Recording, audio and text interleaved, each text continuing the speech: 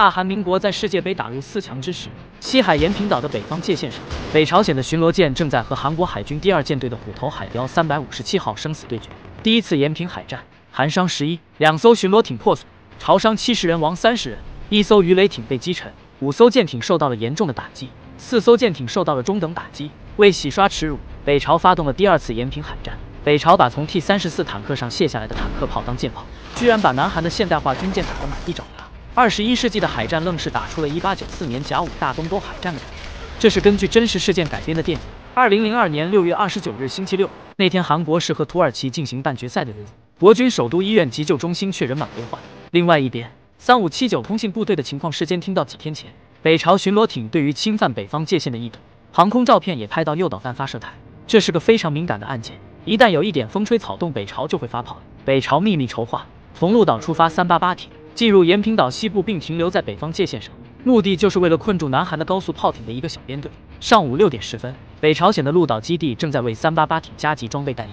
韩国的六艘虎头海雕级高速艇从基地驶出，两组三个编队为出海的渔船做护航任务。九点三十七分，发现驶离鹿岛的敌艇，方位二百三十度，距离五英里，航速在二十节以上。三五七艇艇长下令艇员进入战备状态。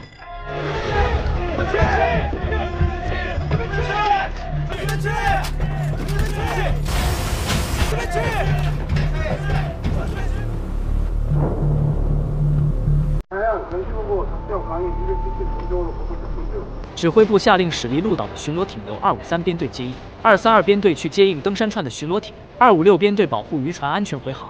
十点零一分。北朝舰艇越过了北方界限，韩军高速艇立刻靠近敌艇实施切断战术。十点四十八分，朝军六八四舰艇进入到一级战备状态。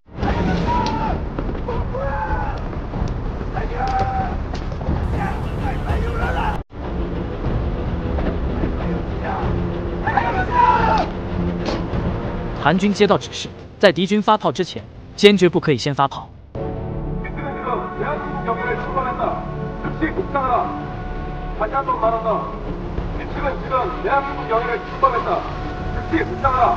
这个时候，三五八舰舰长发现北朝舰艇的炮身方向都指向一处，下令双舷全力加速方向三十米。三五七号改用左舷，在反方向进行回避，不然船体暴露进行急转弯。三艇此时的距离不足五百米，两国所有甲板兵进入左舷战斗状态，战火一触即发。其实北朝舰艇是有备而来，在开战之前，艇长假扮迷了路的渔民，被韩军高速艇救起后，瞟了一眼。就知道韩军高速艇的火力配置。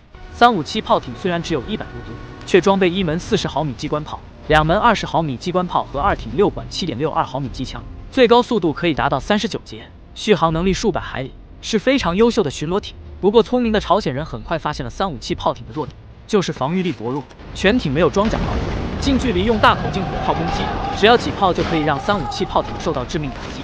于是朝鲜人直接将 T 三四坦克固定在艇首作为固定炮塔。虽然 T 三四坦克的火炮非常老旧，但在一二百米内击中目标完全没有问题。这个时候，一个蚂蚁在甲板上爬行。就在三五七号艇员弯腰想看仔细的时候，一发炮弹飞了过来。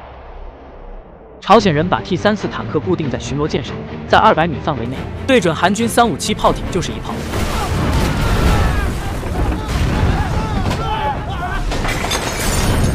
防御薄弱的三五七炮艇被打得措手不及，炮艇火控系统瞬间被摧毁。完全失去了战斗力。八十八式自动步枪和七十三式轻机枪对准三五七炮艇猛烈射击，三五七艇长被这突如其来的袭击打得一脸懵逼。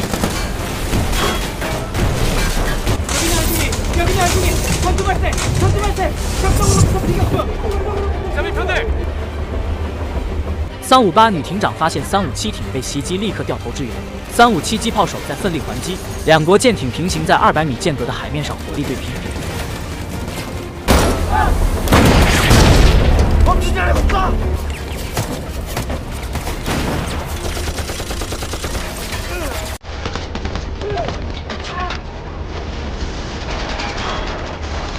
朝军的 M 一九三九三十七毫米机关炮摧毁了三五七艇的炮艇火控系统，炮手只能启用备用点，切换到手动模式进行还击。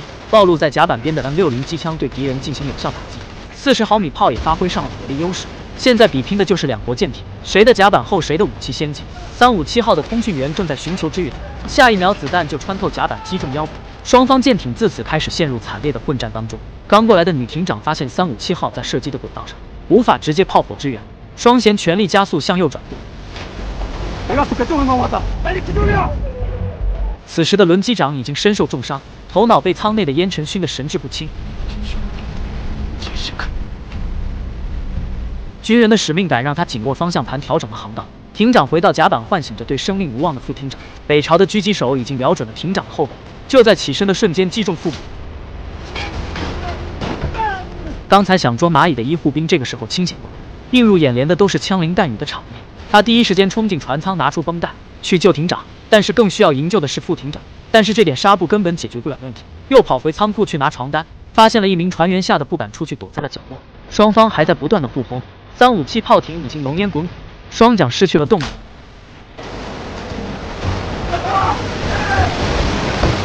如果再不营救三五七炮台，估计就要挺沉人亡。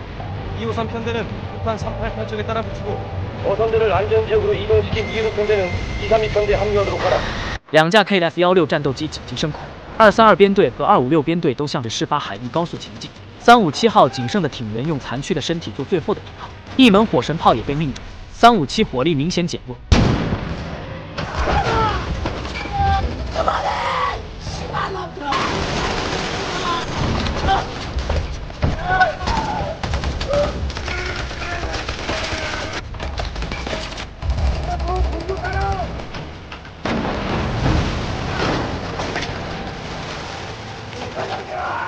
另一名火神炮手看着妻女的照片离开了人世间。这个时候。北朝狙击手再次开枪，打中了操作长。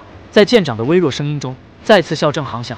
此时艇长的耳麦声中都是艇员的呼救声。